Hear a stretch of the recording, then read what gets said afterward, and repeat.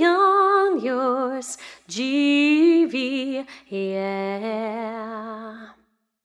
One happy birthday dot com.